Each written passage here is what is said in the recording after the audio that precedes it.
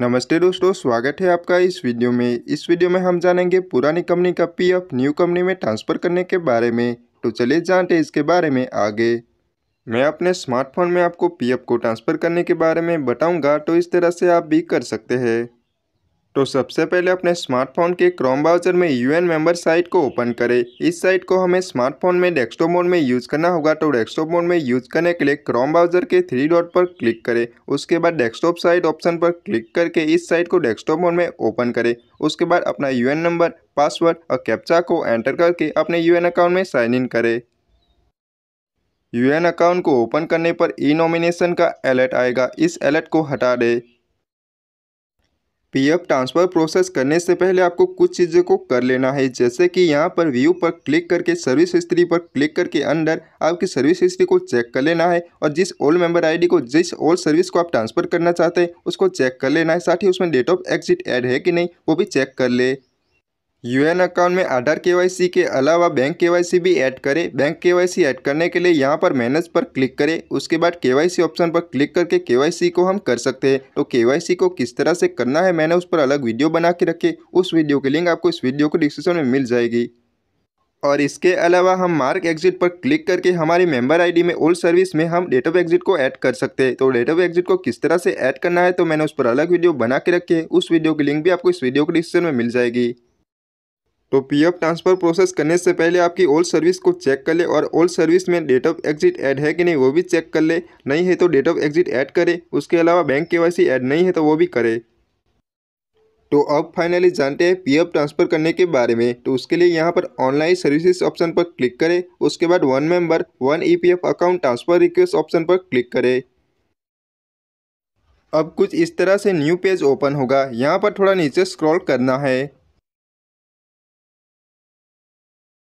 अब यहाँ पर हमें सबसे पहले प्रीवियस एम्प्लॉयर या प्रेजेंट एम्प्लॉयर को सेलेक्ट करना है। जो हम ट्रांसफ़र क्लेम सबमिट करेंगे, उसे हमें प्रीवियस एम्प्लॉयर यानी कि ओल्ड एम्प्लॉयर से अप्रूव करवाना है या फिर प्रेजेंट एम्प्लॉयर यानी कि न्यू एम्प्लॉयर से अप्रूव करवाना है, उसे सेलेक्ट करना है। उसके बाद यहाँ पर यूएन नंबर एंटर करें और गेट डिटेल बटन पर क्लिक करें।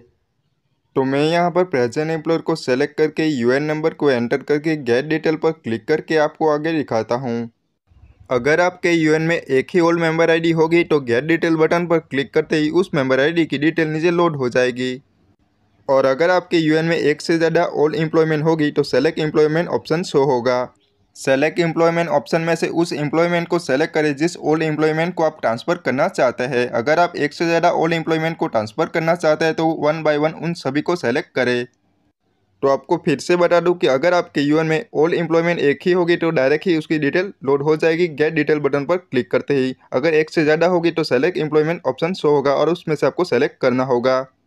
तो आप जितनी भी ओल्ड सर्विस को ट्रांसफ़र करना चाहते हैं, उसको सेलेक्ट करना है, उसको लोड करके उसकी डिटेल को चेक कर लेना है। मैं यहाँ पर दिखा रहा हूँ, उसमें मुझे एक ही ट्रांसफ़र करना है तो मैं यहाँ पर एक ही ओल्ड मेंबर आई को ट्रांसफ़र करके आपको दिखाऊँगा। बाकी आप चाहे तो एक से ज़्यादा भी एक टाइम में ट्रांसफ़र कर सकते हैं। उसके बाद आपकी ओल्ड सर्विस की डिटेल को देखने के बाद यहाँ से उसको सेलेक्ट करें चेक मार्क करें। उसके बाद इस पेज को थोड़ा नीचे स्क्रॉल करना है। और उसके बाद इस बॉक्स को चेक करें सेलेक्ट करें। उसके बाद गेट ओटीपी बटन पर क्लिक करें।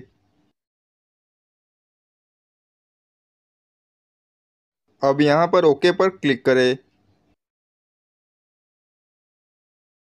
अब आपके रजिस्टर मोबाइल नंबर पर ओटीपी आया होगा। उस ओटीपी को यहाँ पर एंटर करें और सबमिट बटन पर क्लिक करें। तो इस तरह से हम ट्रांसफ़र क्लेम को सबमिट कर सकते हैं। ट्रांसफ़र क्लेम सबमिट करने के बाद कंपनी एम्प्लॉयर से कांटेक्ट करें और उसे कहे कि मैंने ट्रांसफ़र क्लेम को सबमिट किया है, उसे अप्रूव करें ताकि क्लेम जल्दी से ट्रांसफ़र हो सके। ट्रांसफ़र क्लेम का स्टेटस चेक करने के लिए ऑनलाइन सर्विसेज़ ऑप्शन पर क्लिक करें। उसके बाद ट्रैक क्लेम स्टेटस ऑप्शन पर क्लिक करके ट्रैक क्लेम स्टेटस पेज को ओपन करें। तो आप इस पेज के ट्रांसफ़र क्लेम स्टेटस सेक्शन में आपके ट्रांसफ़र क्लेम का स्टेटस चेक कर सकते हो।